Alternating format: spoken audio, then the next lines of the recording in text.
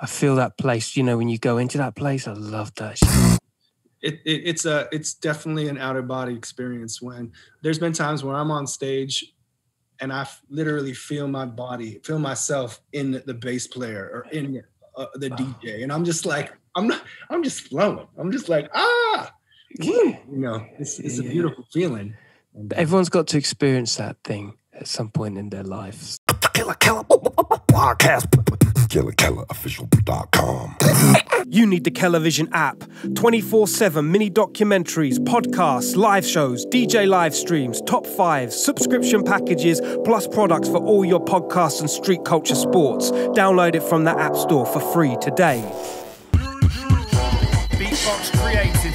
Killa Kela. And we're here to talk about world music and street culture. Killa Kela podcast. Killer, killer, killer. Hey, should we get into it? Should we kick start, brother? Yeah, let's let's rock and roll, man. Ladies and gents, Killa Kela podcast reporting to you live and direct Central London or Central as you need to be, should be, could be, or want to be. That's how we roll it over here. Big shout out to graffitikings.co.uk um, for holding it down at any weather and any event. We're keeping it rolling. Kelavision app is most definitely um, in full effect as well. You can download for all your street culture knowledge 24 7 free download from the App Store. We are flying across the Atlantic to a gentleman, which I have to say, I, I, I'm taken back, not just the fact that he's up for coming on podcast, but the fact that I've been introduced. I almost feel like I'm the last to the party. Souleye inside the place. How are we? My MC brother. Yeah, doing well, man. You're always invited to the party, VIP, no matter what. Well, look, seriously, I mean, you know, I, I like to think, yeah, that as an artist first, hip hop head second, that can often fluctuate and be determined on the kind of mood I'm in. But, but you know, hip hop music run totally parallel with everything that I do. And the fact that Souleye, bro, I genuinely, the new album's fire, mm-hmm. previous stuff fire. What the hell's going on with my life? All good, man. You know, there's a lot of MCs, a lot of music coming out in the world, and uh, I've you know I've definitely kept it to an underground scene for a lot of a lot of different reasons. And as as as I broaden and expand myself, I become more of a you know mainstream and things like that, and hence being able to speak to somebody all the way in London. You know, yeah. who, who has a beautiful body of work as well, man. You know, super talented and appreciate you uh, taking time out to speak with me.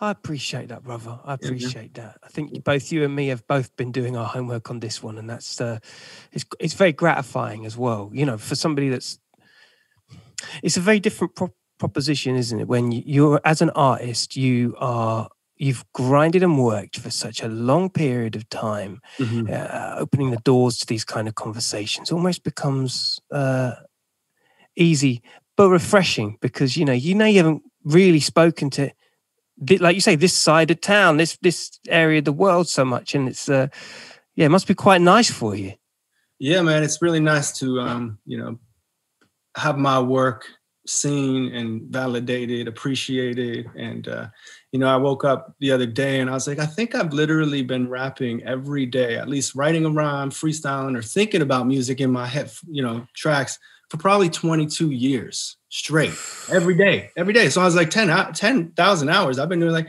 10,000 days. You know what I mean? Uh, it's just an, as you probably know, as an artist, it, it there's no timeouts there's no breaks there's no retiring it's music music is a flow it's a currency of energy current and uh, as one of my roles as an mc is to capture that current that co- Mhm. you know collective conscious pool that's flying around i grab the words which one's today which line am i going to use put it in a track make it you know make it pop make it sound nice so it's good to be here and, and, and get this feedback you know it definitely uh I can resonate with that. On those days where I'm just like, yo, fuck this. I'm not going to be f- beatboxing or I'm not going to be correct.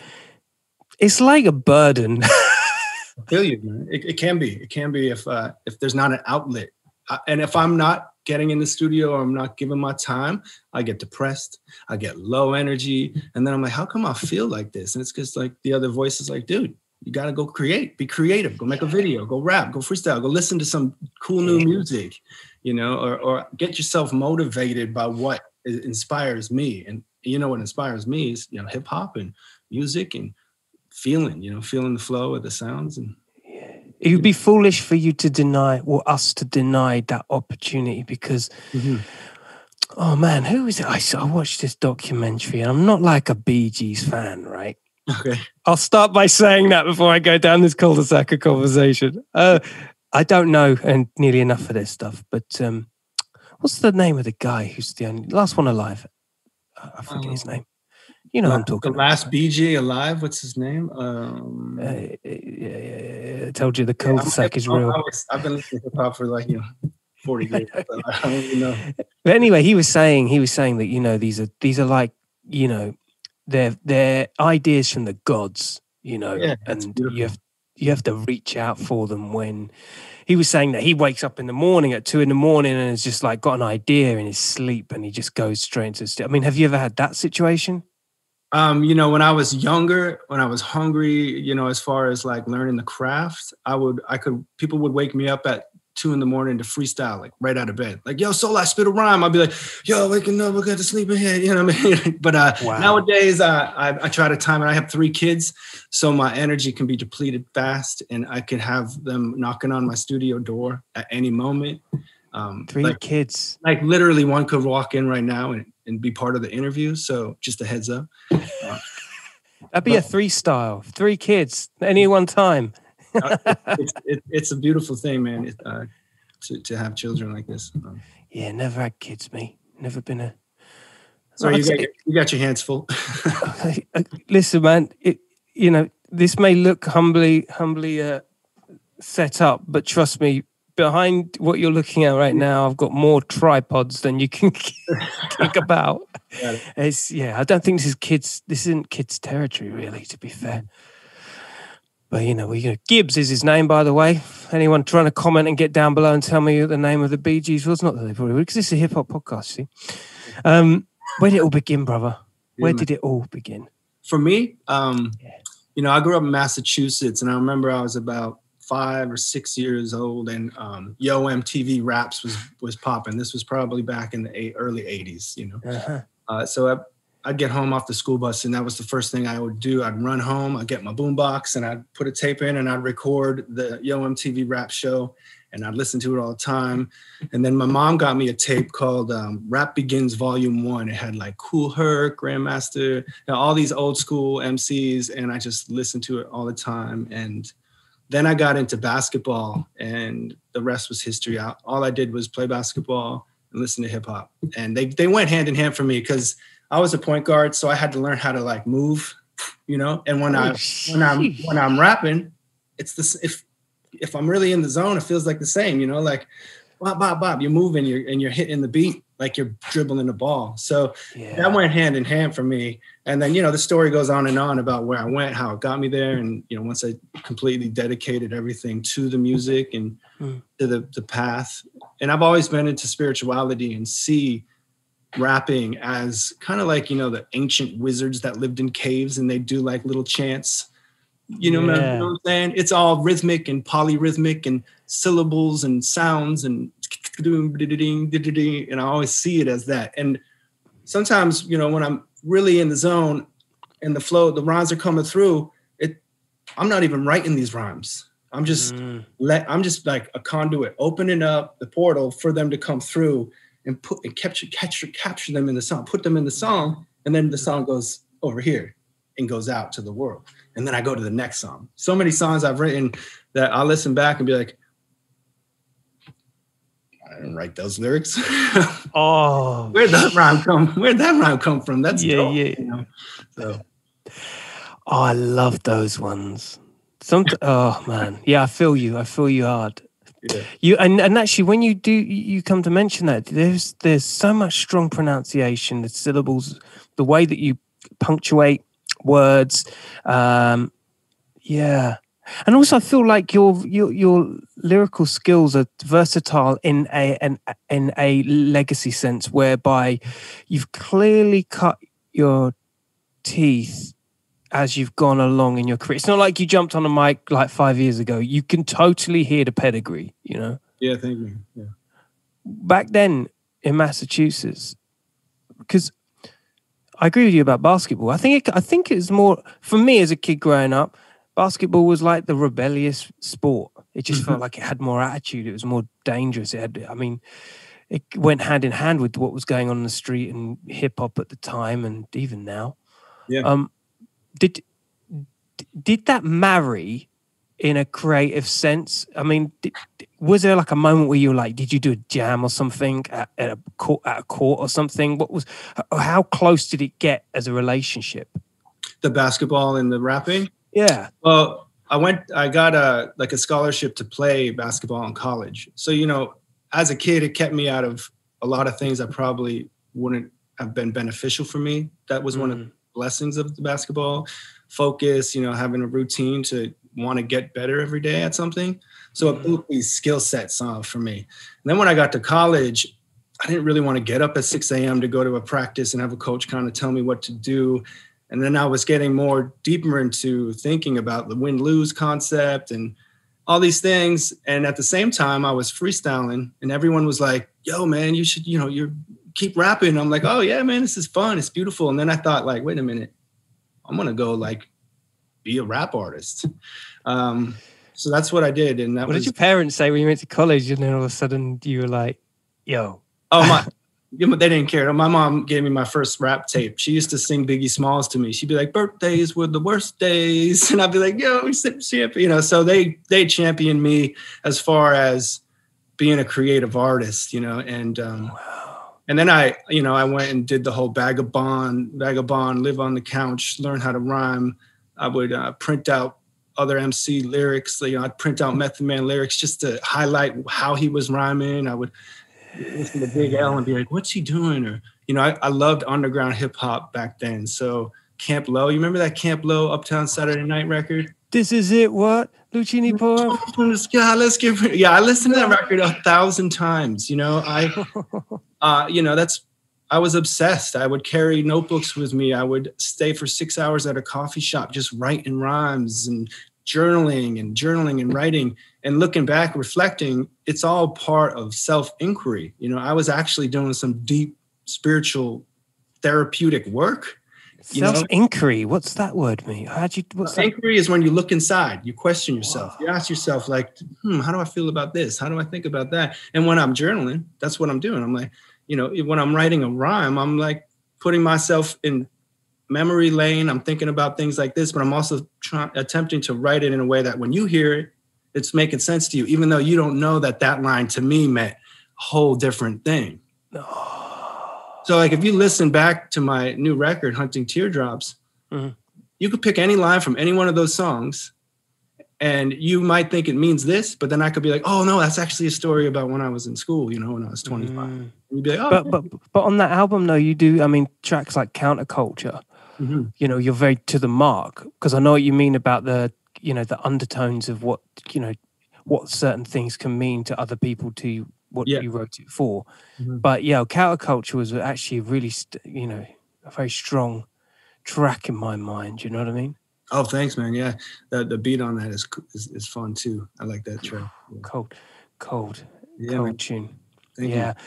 Um, do because and also I might add as well with that album is there is a lot. It's it's very rich Mhm. in beats. It's very rich in production values. Like with the first few minutes of hearing it, I was like, Jesus, is so well produced. Yeah, I, I uh, collaborate, and I've been working with this gentleman named Bill Bless for over a decade. Um, and we bounce ideas back and forth. He sends me loops, I send him rhymes, and uh, add this, take that out, tweak that. What about this? And this new record, Hunting Teardrops, he brought in a lot of earthly elements, crickets, birds. Yeah, that kind of panpipe flute thing that was going on a couple of times. yeah, I know yeah. what you mean.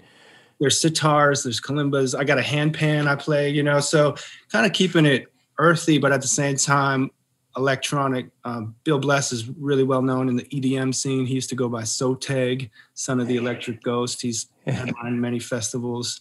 Um, and you know, we're both we're both older dads now, so we're just like, yo, man, we just go with the flow. If we're not feeling one, we move it over. We keep working, and we already have a full second record ready, mixed, mastered, ready to go. Once hunting, What? once hunting teardrops is out, I got another one, 18 tracks. I'm probably gonna pick the top 12. I got some beautiful guest uh, female singers on it, and that one's ready. It's mixed ready. I gotta pick a name for it and then get some artwork for it, and then Wow. we're, we're put, we'll keep going. We keep moving. That's crazy. Each one of these tunes on this album could be a, a single. Like I say single loosely. You know what I mean though. You know, you could put Oh, a music video to it. Yeah, no, and and that's kind of what I'm doing for this hunting teardrops. I put out Ghost Steps first with a with a lyric video, and then I did uh, Times Game Mm. within like a video with me performing, and then um, I got this new one called Fireside that just came out, and Mm, I have mm. another cool lyric video for that one. Hopefully, it's ready in the next day or two. I'll, I'll put that out, and then I did that. Vision Vision Board was dope. That did the Oh, you like that one? Oh, cool, Yeah, cool. super cold. You know what? What one, what's so interesting to me is um, from the feedback I've been getting that people, the, the people that have heard the full record, they'll they'll tell me like, "Oh, this is my favorite track," and I'll be like, "I didn't even think that." Mhm. Someone's favorite, you know. That that's how this Times Game one became a single because somebody I know was like, "Oh, Times Game is is the jam, man." I'm like, "Oh, sweet, let's make it a single, put some artwork to it, and make a video." Yeah, man, you spoiled stuck in it as well. That is a tune. The Oh, just I the beat. Yeah, and the chorus, the repetitive, it's kind of heavy. Yeah, that, I like that one. I like that one for sure. And there was a couple of moments in the album too where I liked the the you had this like lower octave uh, vocal on a couple of tunes that went with your mid range, and it kind of had a dissonant. I don't know. It, it, it kind of. I know you're more. I know you're more old school than this, but uh, like Kendrick Lamar kind of thing, where there was like a double vocal layer, but one was low and one was mid, rather than the high in the mid or the low in the mid high. You were going like, and it just felt like it was really like there's a real undertone to the to the vocal. Yeah, I, I always do about four vocal takes to get different octave layers because you know you Mm. never know what happens when you um, put one on top of the other. And, and in that new song I put out called Fireside, there's a chant in the beginning, um, and that's not a, that's not one person. That's about four or five different chants on top layered and you know panned in a certain way so they sound like one person, but it's not it's not one person. It's a bunch of chants. So That's crazy. yeah, being Yeah, creative, with the thinking like that. you got to think out the box, Yes. Yeah, particularly when you're working in the box. You know, exactly. where are you at the moment? You in LA? Uh, no, we uh, we were living, my wife and I and family. We moved up Northern Cali. We were in LA for about ten years. My wife was there for twenty. So uh, you know, we we decided to kind of get up in the woods with the kids. Yeah. I, how did you get down? That, how did how did that transition from uh, Massachusetts to the west to Yeah. California? How It's did a, that? it's a- it's a long journey, man. Um, and it was all it was it was all through music. And I know I know we only have thirty minutes here. Um, I could attempt to give you a quick five minute recap if you want. You know, Your podcast, baby. You Yeah, go for self. you know, all you can always uh, for the people watching who never have heard of Souleye, you can check out my website, souleye.com. Trust me, this is a whole new audience. Uh, All right, um, yeah. Bells and Uh, whistles, man. souleye.com just uh just launching uh, this on Friday, this Friday. So I think the podcast, this interview comes out to Friday today in the future. So check out souleye.com. Follow me on Instagram at souleye. And um, And it's yeah. by magic. It's Friday. We're here. Yeah, I'm gonna give you the quick one moment that kind of catapulted me. This happened about 20 years ago. Um, Mhm. My brother at the time had a three year old baby, and I was in his apartment, and I told him, I'm gonna make some money through my music. I'm gonna take you on a cruise ship, man. And I left the apartment. About a few months later, I get the call that he passed away. Committed, committed suicide and uh, this was up in uh, you know the massachusetts um, area. I think it was vermont new hampshire at the time. And um, i went down to florida. I just was like all right i'm going far away from here. I went down to florida Hmm. and um, I'm, I'm skipping a bunch of pieces but uh, I was at the time I was working at Whole Foods as a vitamin salesman because I love nutrition, I love health and you know positivity. And I was just like, I need a job working at this vitamin shop at Whole Foods. And my roommate at the time was a producer by the name of Sam Sleepyhead. He was 18. I barely knew him. He heard me freestyle once and he called me and was like, Hey man, remember, I'm Sam. I was in the car with you. I heard you freestyling. I want to make a record for you. I'm like, oh, cool. I'm like, well, I'm in Florida. He's like, you need a roommate? And I was like, sure, dude. So he came down on a Greyhound. Barely knew this guy. Met him once. Became my roommate, and uh, we make we make a record called Intergalactic Vibes. And I and he tells me about this thing called Jam Cruise, which is this cruise ship with all these incredible artists on it. Um, Mm. A lot of big name uh, jam artists like Les Claypool and Béla Fleck, Michael Franti. Okay. Uh, and at the time, I never heard. I haven't. I didn't know any of those artists. I was Right. a straight hip hop guy, like Yeah. two, you know, only only hip hop music. And uh, so I go to I go to work the next day after Sam tells me about this thing called Jam Cruise. I'm working in the vitamin department. This guy walks down the ho- the, the aisle. He's got a cough. I'm like, oh, what's you know, can I help you? He's like, yeah, you know, I got this cough. He has a T-shirt on. It says Jam Cruise, and I'm like, oh, dude, my roommate was telling me about Jam Cruise yesterday. He's like, oh, that's my thing, and I'm like, oh, he's like, yeah, that's my that's my. uh I put that on Cloud Nine Productions, and I'm like, wow. And I go, I'm a I'm a MC. Here's a flyer for this new CD I made. He goes, oh, you should go on Sonicbids and enter this contest. They're looking for, you know, DJ MCs, live guitar players to to win a spot on the cruise ship. wow. So I enter it, fill out the Sonicbids. About two weeks later, I get the phone call while I'm at Whole Foods. Nah. Yeah, you- you've been selected as a winner for the Jam Cruise out of thousands of people, and I'm just like, what? So the next thing you know, I'm on this cruise ship performing. Uh, I meet all these Michael Franti's like, yo, come rap with me. I meet this uh, this other EDM uh, artist. He's like, come tour with me. Uh, I'm in Jamaica at Bob Marley's house crying. Like, uh, my mind is like, What? and and literally from that day, I was I you know full music, full touring around the world, putting records out.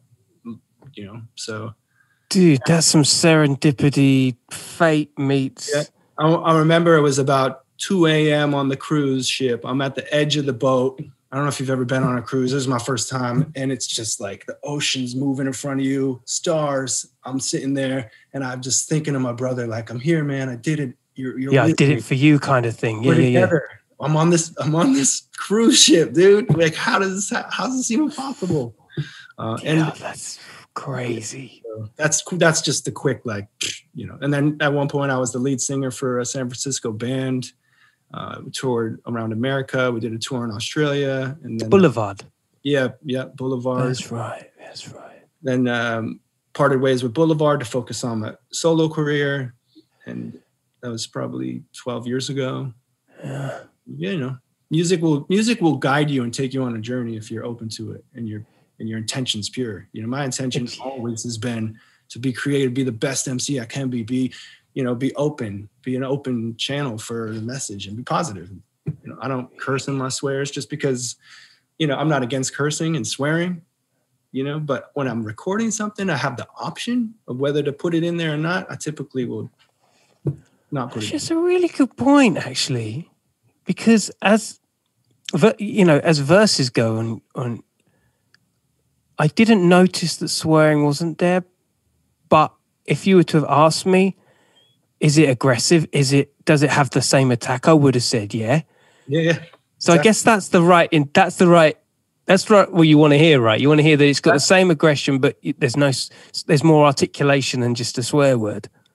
yeah I, I, even if even when i was you know f- mostly a freestyle mc i could freestyle for 24 hours straight without cursing and I, I never had a fallback that was like a curse because i always was just trying to be more uh, intentional intentional with my words See, man's got a stack of books behind him. Let's see what's going on here. The wordsmith.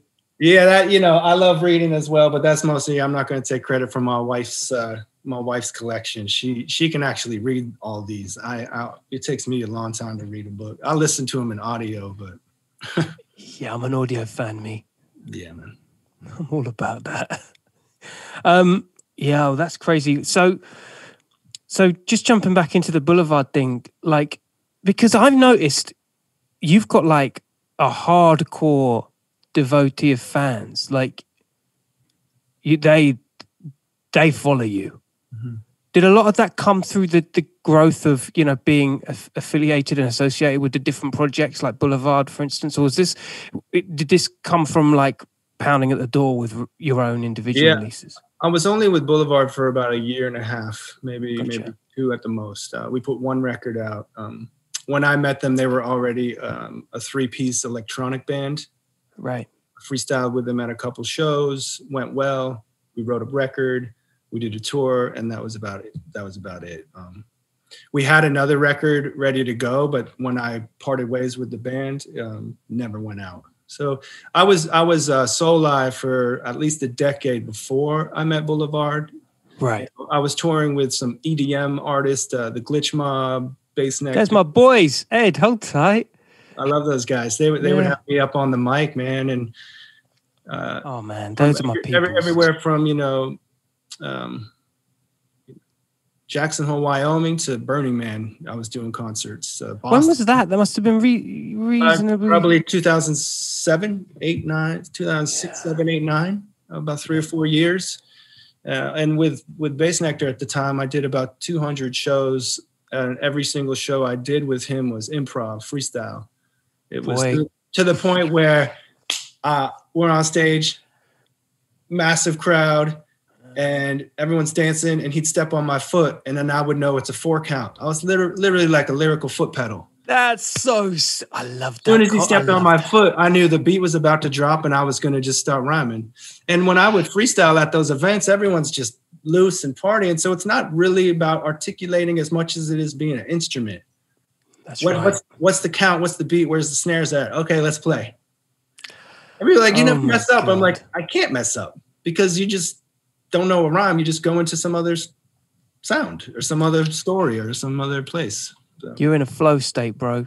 yeah. and nothing can take you off that. set. Once you're in, man, I've been there so many times with beatboxing. I totally and utterly feel, I feel that place. You know, when you go into that place, I love that shit.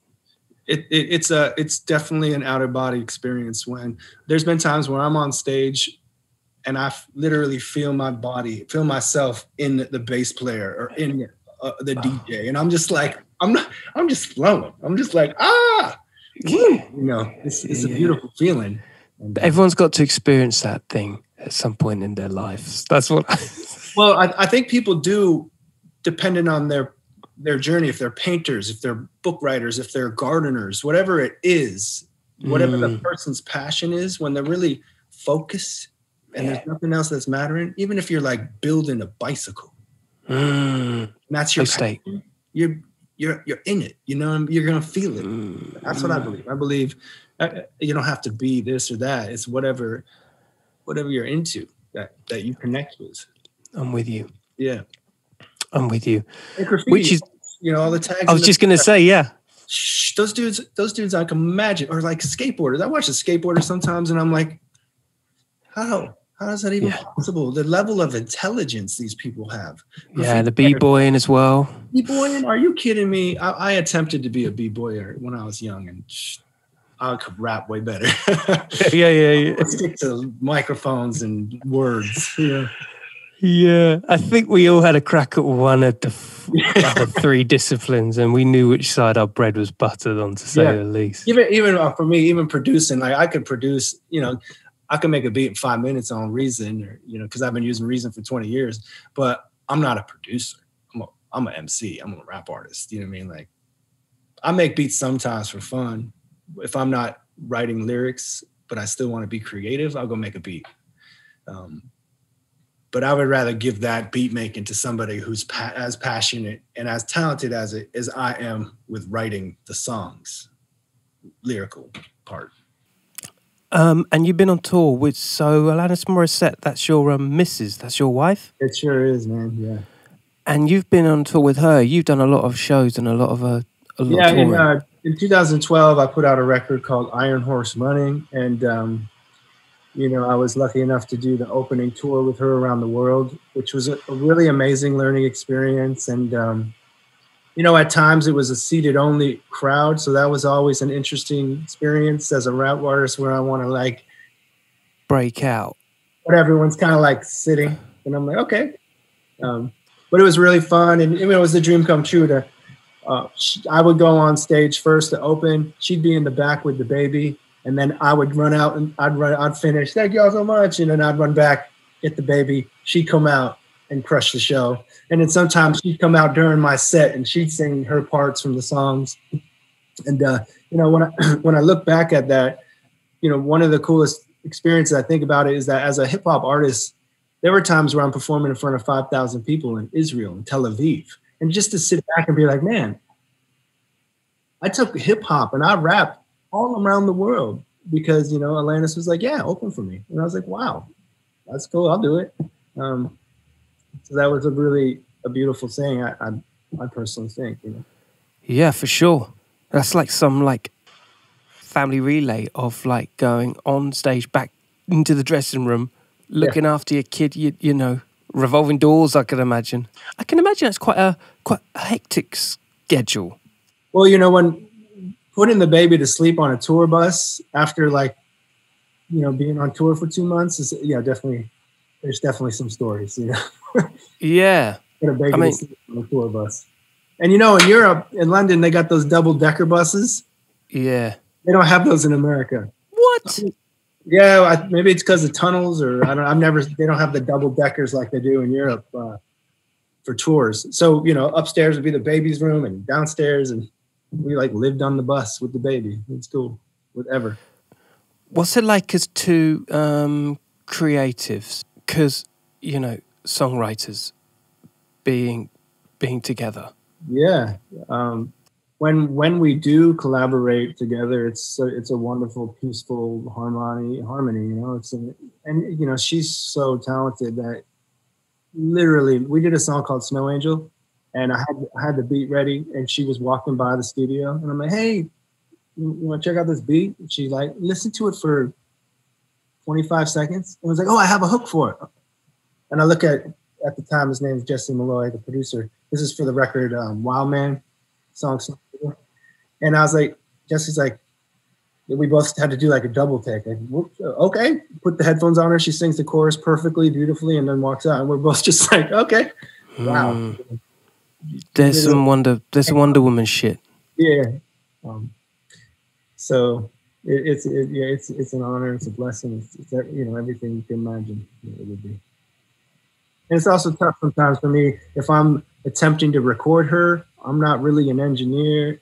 I'm, I'll rap. I record my rapping, and so that could get frustrating if I'm attempting to do the recording because I, I I'm like ah I don't know why it's peaking and so I we've made, we've made an agreement that I, I don't record her anymore. So we'll hire. I love that, dude. I've been there. and I'm, I'm sitting there like, man, I'm used to like underground hip hop recording with a, a muffled microphone in the closet with pantyhose. And now I Yeah. got like a eight time Grammy winner freaking singing on my mic. I'm like, uh, uh, like make the EQ better with a little reverb and take this top off that and this and that. I'm like, uh, yeah, yeah, yeah, yeah. That's some madness. Yeah. So I mean, some relationships have, you know, more kind of mm, mundane arguments like who's doing the washing up. You guys are on some like, Yeah. there's too much compression on this. I'm Yeah, distorting. Put the limiter on. that's the number one issue too. Is like, I'm distorting. I can't hear. I'm like, I don't know. I totally. usually record about this volume when I'm rapping. You know, I don't get much louder than this. So. Yeah, yeah, exactly. And and what can be seen as an incompetency actually is just they're two different worlds. Totally different worlds, yeah. Go on, shout this, shout the album again, bro. When's it coming out? Today, check it out, man. Appreciate you having me. And um, to all the Killa Kela fans out there, my name is Souleye. And to all the Souleye fans out there, check out Killa Kela, one of the best beatboxers out, and uh, a podcast. So thank you for having me, and I appreciate it. My brother, listen, you're always welcome. Hey, look, next time we're gonna we'll have to link up and do this properly. We'll do it when I say properly, we'll do it together. Yeah, man. Oh, yeah. When I'm in uh, your, your neck of the woods, you count on a text coming from me for sure. Yeah, baby. Teas Alright. in a pot, drinks in the fridge, you know it. Yeah, man. Can't wait. Ladies and gentlemen, Souleye, thank you so much for joining us on the podcast.